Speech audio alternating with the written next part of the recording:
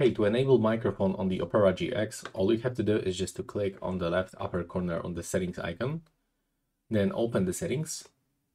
Now scroll all the way down, click on the advanced, and now from this, click on the search settings in the right upper corner and input microphone phrase.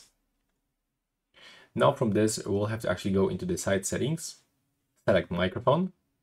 And as you can see from here, we have to just turn on the microphone like this. And also you can pick the default microphone. So if your microphone is not working, just be sure that you are using the same microphone that is selected as default input device on your Windows settings.